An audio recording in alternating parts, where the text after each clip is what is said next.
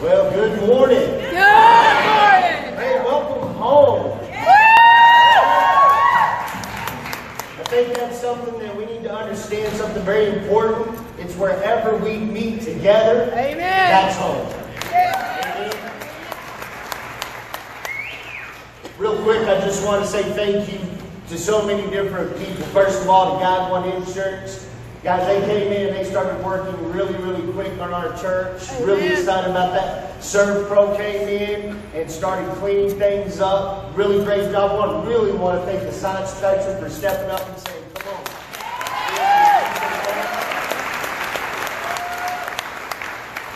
I also want to thank Lubbock, Texas. Amen. Man, we live in a great city. People who genuinely care. People who were, were praying for you that you never know or you don't know and you probably will never know. Uh, people that have come and said, how can we help? And man, that is just such a humbling feeling to know that uh, city backs us. Amen. And, we want to thank Lubbock, Texas for everybody that reached out. Thank you so much.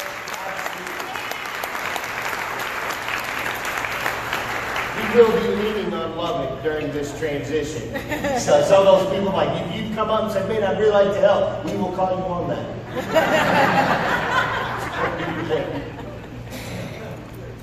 One of the unique things that has happened during this transition is that I've heard many questions asking, what is refuge? And that, that has been a question that has been asked throughout the ages, which is only 13 years. what is refuge? And, and I've heard many different things about what refuge is. Let me say this in our world, labels are thrown around carelessly. Many of us in this room have received labels, whether you liked it or not. Uh, I believe that our society throws labels and uses them as weapons. It seems like we're quick to label somebody who's not like us. And I started realizing that even Jesus messed with, uh, had issues with these labels, but notice what a label is it's a descriptive or identifying word or phrase. Many of you would look at me right now and say, oh, Pastor is handsome. yeah, yeah, you know. Uh, he, he looks like he's an incredible basketball player. You know, I can be labeled that all I want. I can even pre-label that myself. It- it- especially last night, and I know none of you here did this, but there, there was a fight on last night. All right, and here's what's so funny to me is when people watch the fight, they scream as if they can fight. Come on, hit Come on, man, that's horrible. I could do that. Did you really? the reality is, I learned to keep my mouth shut because labels are thrown around so much. And I believe that as Jesus also dealt with labels when he came to earth, when he walked with us. Many labels were given to Jesus. Many people asked, Who is this Jesus? In fact, let's just look at the book of Mark. And what I've done is I've gone through the book of Mark and I've grabbed all the labels that I could find that they labeled Jesus, and none of them stuck. In, in the first part of the book of Mark, they called him an Egyptian because he came out of Egypt. They called him a Nazarene because he came out of Nazareth. Even called him a sinner. Some people called Jesus a sinner and labeled him. In chapter 3 of Mark, his family called him out of his mind. Maybe some of you have had that label by your family too.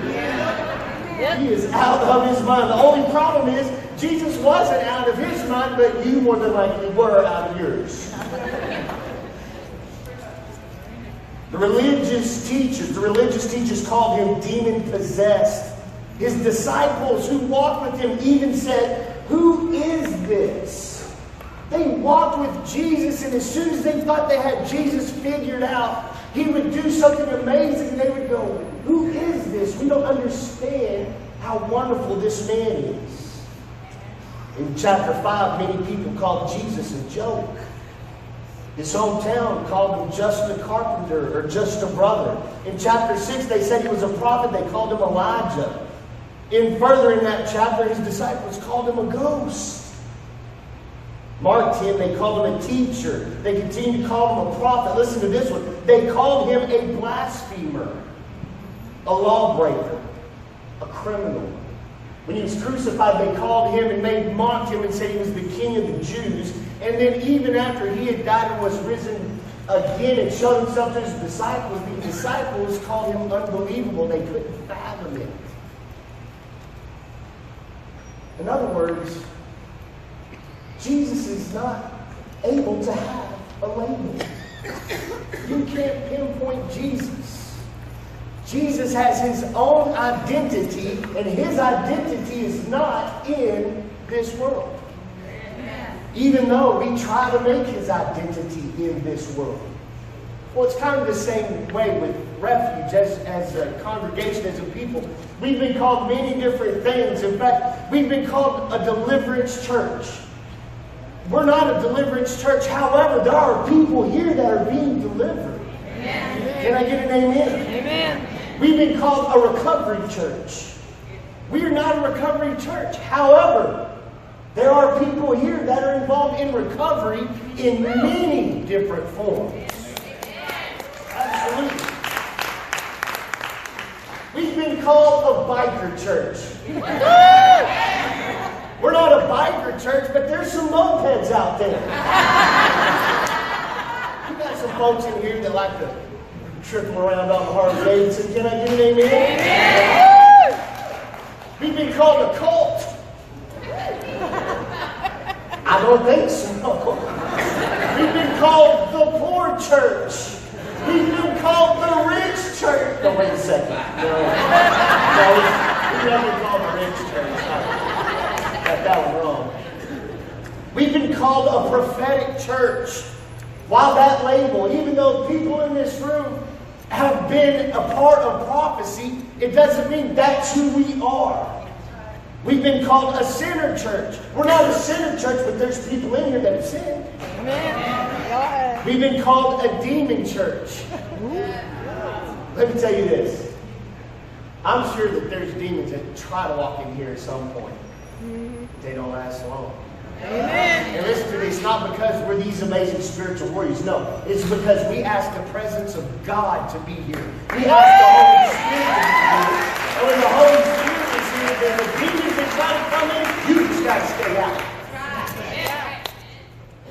We've been called a failure church. There's many of us in this room that have failed, but we're still here. Can I get an amen? amen? We've been called, I love this one, a second chance church. We are not a second chance church. We are a multi chances church.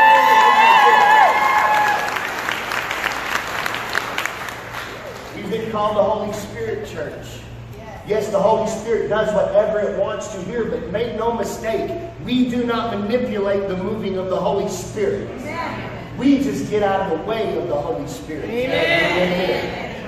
We've been called a seeker church. I believe there's people here that are seeking. Keep seeking and you will find. Amen. You've been called the healing church. I love that one. But that's not all that God does here. Here's my point. We can't have labels here either. You can't define what God does. It's impossible. And as soon as we come to a point and say, we are refuge and we are this, then we cut ourselves short. We need to be whatever God calls us to be at any given time.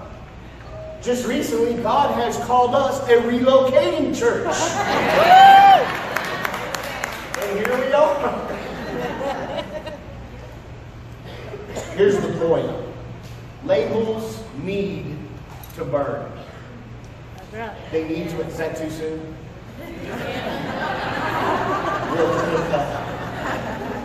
Labels need to burn. Listen, mankind has always labeled things we fear or do not understand. You realize when we talk about Jesus, he's indescribable. There's times when Jesus is very welcoming and embraces us. Has anybody experienced the embrace of Jesus Christ? Give me an amen. amen. But there's sometimes that Jesus Christ will call you on your stuff. Amen. And he becomes a disciplinarian. Has anybody been disciplined by Jesus? Say amen. amen. And both of those things are beautiful. There's times when we don't have answers, but then we get wisdom from God. Not in our own ability, but what Jesus and the Holy Spirit gives us. Therefore, I want a Jesus that is untamed. I want a Jesus that is just as wild as he wants to be, just as calm as he wants to be. I want to serve a God that is so far from the scope of my simple mind that I can't help but worship and say, He is God. Amen. That's who we need to be. That's who we need to serve. Notice this Jesus continually ignored all the labels of man, but found his identity in his Father. We're going to look at Scripture. Philippians chapter 2, verses 6 through 11 says this. This is very important to find where Jesus came from. It says, Jesus, who being in very nature God, did not consider equality with God something to be used to his own advantage. Rather, Jesus made himself nothing by taking the very nature of a servant, being made in human likeness, and being found in appearance as a man, he humbled himself by becoming obedient to death, even death on a cross. Therefore, God exalted him to the highest place and gave him the name that is above every name. That at the name of Jesus, every knee should bow in heaven and on earth and under the earth, and every tongue acknowledge that Jesus Christ is Lord to the glory of God the Father. Really think about that today, ladies and gentlemen. There Jesus is with the Father. They are one. They are together. They have been in existence. And Jesus humbles himself to be like us. You see, a lot of times people forget Jesus isn't from this world. He's just not. He didn't grow up in Post. he didn't move from Lamesa. He'd be called a Lamesian. I, I, don't know if that's what they call you folks from Lamesa, but sorry. He came from a place that is far from here, a place where there is perfection and beauty and no sin and, and no death. But he, he allowed himself to be made like you and me, obedient to death. He faced the same challenges that you and I face. And he walked among us. And we tried to label him. We tried to label him. We still try to label him. And it's impossible to label who Jesus is. When God comes to us, we try to label him. We try to put God in a human box. Has anybody ever, you walking with God and you know God's going to do things like this, only for him to flip the script and surprise you again? That happens a lot. Especially whenever we have issues with another individual. You start saying, God's on my side. Have you ever said that? Be honest. Lord, I want to pray for my sister in Christ, but I know you are on my side. Therefore, I pray that you show yourself to her through flat tires. and I believe God's going, um, it doesn't work like that. no, and then we start trying to manipulate Jesus by going, if you do this for me, then I'll do this for you. As if God really is wanting to bargain with humans. As if He goes, okay, give me your word. you got my word, God. That's about as worthless as this sweaty handkerchief. But when God gives you His word, Oh, his word is truth. His word changes lives. He speaks, when he speaks labels, they stick. Because they're not labels from opinion, they are labels from truth and love. Notice this. In the presence of Jesus, labels burn. And we're going to read a story today that maybe you've heard before, but we're going to look at it from a different perspective. John chapter 8, verses 1 through 11 says this. At dawn, Jesus appeared again in the temple courts where all the people gathered around him, and he sat down to teach them. The teachers of the law and the Pharisees brought in a woman caught in the act of adultery. They made her stand before the group and said to Jesus, Teacher, this woman was caught in the act of adultery. In the law, Moses commanded us to stone such women. Now, what do you say? You see, they were using this question as a trap in order to have a basis for accusing Jesus. But Jesus bent down and started to write on the ground with his finger. When they kept on questioning him, he straightened up and said to them, let any one of you who is without sin be the first to throw a stone at her. Again, he stooped down and wrote on the ground. At this, those who heard began to go away one at a time, the older ones first until only Jesus was left. With the woman still standing there, Jesus straightened up and asked her, Woman, where are they? Has no one condemned you? She said, No one, sir. Then Jesus said, Neither do I condemn you. Go now and leave your life of sin. See, something happened here. When they brought her in, there was a label upon her. Let, us really focus on this. She was caught in the act of adultery. She was caught in the act. Now, let's go a little bit further. This is for all my beautiful women here. Notice that they didn't bring forth the man that was caught in the act of adultery. Uh-huh. Then you got your little next, mm-hmm. But they brought her in. And notice they're, they're bringing to Jesus, here's an adulterer. What do you say we do? We're supposed to kill her. Jesus is very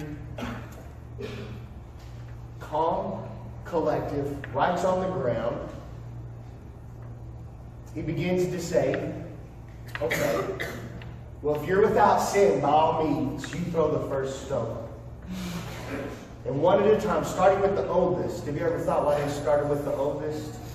It's because when the oldest, when you've lived enough life, when you start going gray, you start remembering everything you've been through and what you've done, you realize I don't have the right to judge anybody. And you start walking away. And they all walked away. And then look what Jesus said. He looks at her and he says, Where is where are they? Has anyone condemned you? And she says, No. And he says, Nor do I condemn you. He says, I don't see you as an adulterer, even though you have committed adultery. However, I will give you this in- instruction. Leave your life of sin. Now, a lot of times we think, okay, that's her last chance. No, here's what Jesus was saying You're better than this. Amen. Absolutely. Sweetheart, you're better than this. The way you are acting now is not who I created you to be. Within your spirit, you know that you're better than this. It's time to be better. Get better. And that's how Jesus pursues us. We go to Jesus and we have our own labels, but, but notice what happened. Look at this next slide. Truth burned the label of the self righteous. Because the self righteous judged and said, She's an adulterer, she deserves death. And the truth of Jesus, which was, okay, if you're without sin, cast the first stone. He took their label of self righteous and showed them, You are not who you think you are. You have no right to judge another. And they walked away. But then his love burned the label of condemnation in her. She was caught. She had no defense. She had no excuse. But it was his love that said, You're better than this. You are not this person. Now leave your life of sin. Now, here's what's amazing every one of us can be found in either side. If you judge others, listen to God's truth. It'll burn those labels you throw on other people. Yes, even your enemies. The people that don't like you, you still don't have a right to judge them. You still don't have a right to hate anybody. And right now, our culture is so full of hate because of labels thrown at each other. Man, it's just like we're trying to create new words to make labels. When the truth of the matter is, we're just people that need Jesus. Amen. I want to say this. I'm about to get on a soapbox, and I apologize. Not really. if you have hate in your heart for another for any reason, don't claim that you're following the Father. Don't claim Christianity if you have hate for another, because Christ has never been about hate.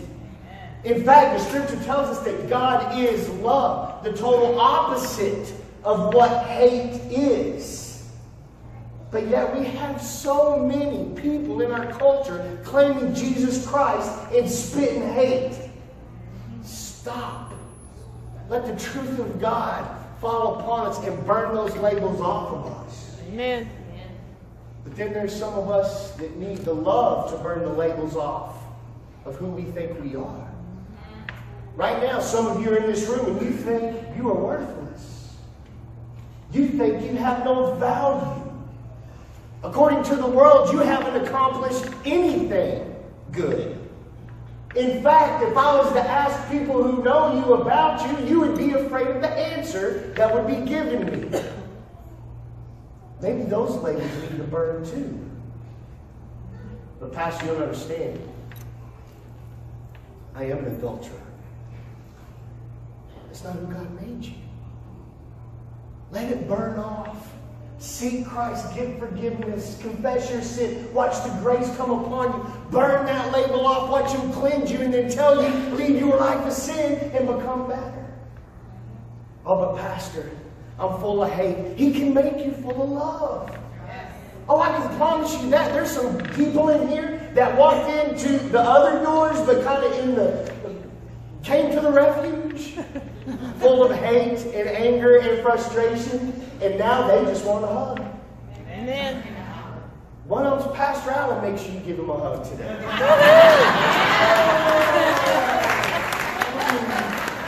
Make sure you just hold it there for a long time.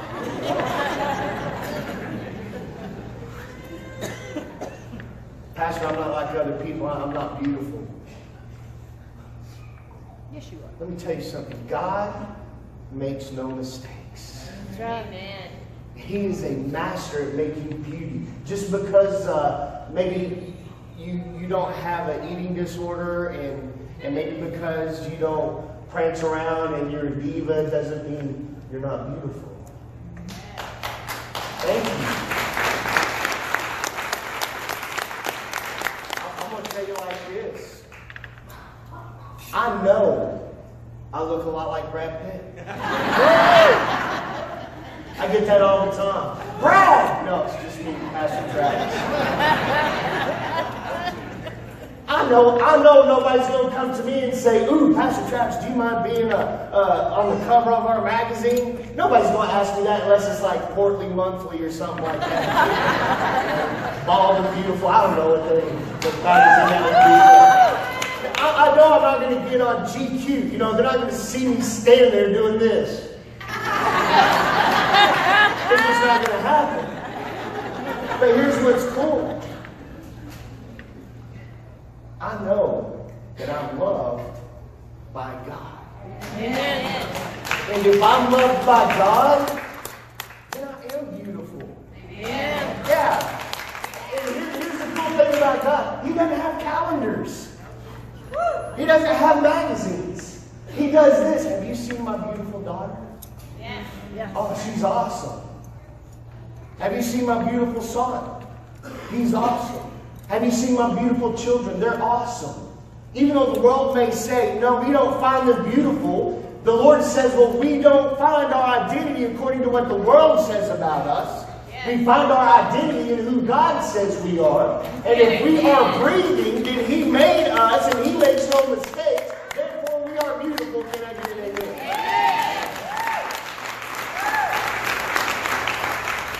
What about your labels today? Do they need to burn? Yes. Yes. The labels that you give others, they need to burn. The labels that you have for yourself, they need to burn. Notice this Jesus left the heavens to come to us, to grab us and say, Come back with me. Jesus says, I want you to be where I am with the Father. The Father is in me, I am in you, you are in the Father, we are one. He wants to take us out of this world. He wants us to no longer be defined by this world. There's some people in this room that you have a record on paper. There's people in this room that you have the greatest achievement on paper. I don't know, maybe you got the Nobel Peace Prize. But the truth is, before God, those labels burn. Amen. Right. He sees one thing. Are you my child? Yes. Do you know me? Because if you know me, then you love. And if you know me, then you desire to be better. If you know me, then you will have victory in your life. In fact, here's some of the labels that I believe God gives us. You know God, He says, you're full of grace. Amen. Grace for others because I have grace for you. Amen. That you're beautiful, you're made new, you're reborn, you're more than a conqueror through Christ Jesus. You are forgiven. You are also called to forgive others. You are brothers and sisters in Christ. You are overcomers. You are fishers of men. You are not of this world. You are ambassadors of Christ. His strength is our weakness. Give me an amen. amen. You're unforgotten. That's important. You're the least of these. You're sharing in His glory. You are His righteousness. You are full of love. Amen. So I simply say this the refuge can be summed up in one command love well. That's who we are.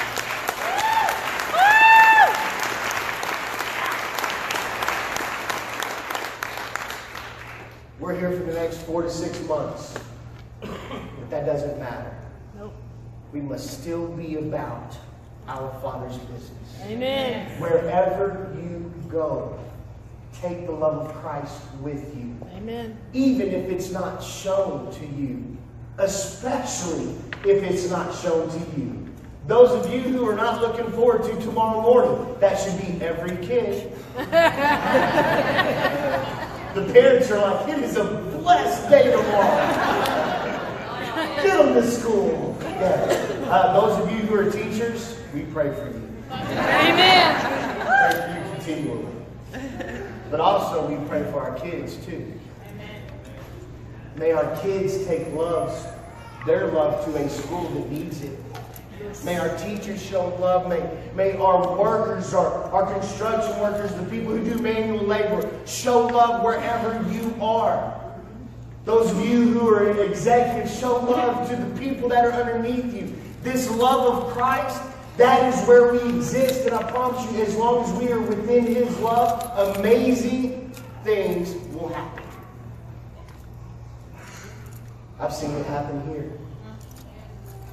I've seen the sick come in here and be healed. And it wasn't because I licked my hand and slapped them on the forehead.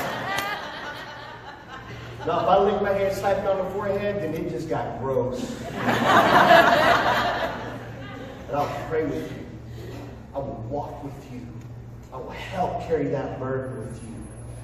That's what we do for each other because we love well and we are refuge. Can I get an